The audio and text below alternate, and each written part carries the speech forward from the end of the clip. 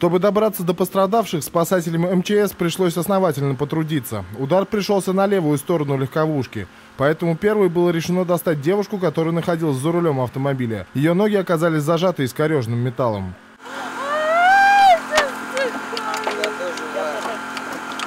От болевого шока девушка все время, пока длилась спасательная операция, находилась в полуобморочном состоянии. Как только спасатели вытащили пострадавшую, ее сразу же передали в руки врачей скорой помощи.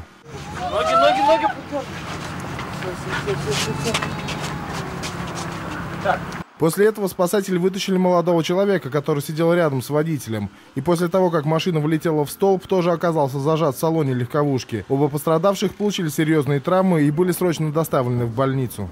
А что, не, не, не говорил он, что случилось? Да не до этого. У нас таких мыслей не было.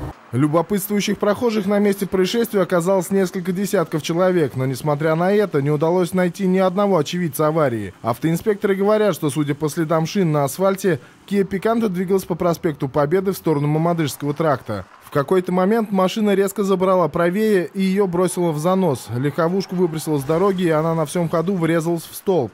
От удара металлическая опора погнулась и повисла на проводах. Что стало причиной аварии, пока неизвестно.